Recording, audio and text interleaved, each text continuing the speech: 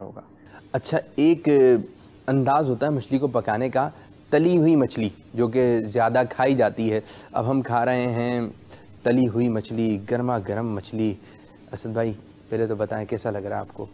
Madani channel के नादिन, यकीनन आपका भी दिल चाह रहा होगा कि आज बस मछली पक जाए। हमारे घर में भी। चलें जैसी सहूलत हो आसानी है तो मछली पकाएँ खाएँ क्योंकि मछली बड़ी तोानाई है। इससे जो है बड़े दुनियावी फ़वाद भी हैं इन जिसम को आपको फ़ायदा होगा। तो बहरहाल हम मछली देखते हैं ख्वाब में वो तली हुई हम उसको खा रहे हैं इसकी ताबीर क्या होगी? तली हुई मछली का खाना बड़ी ही प्यारी इसकी ताबीर है अच्छा। और वो है कि अल्लाह तबारक व ताली की बारगाह में देखने वाले की दुआ कबूल हो सुबहान अल्लाह सुबहान अल्लाह। तो तली हुई मछली जो देखेगा ख्वाब में तो उसकी तो दुआएँ कबूल हैं। बड़ी प्यारी आपने इसकी ताबीर बताई।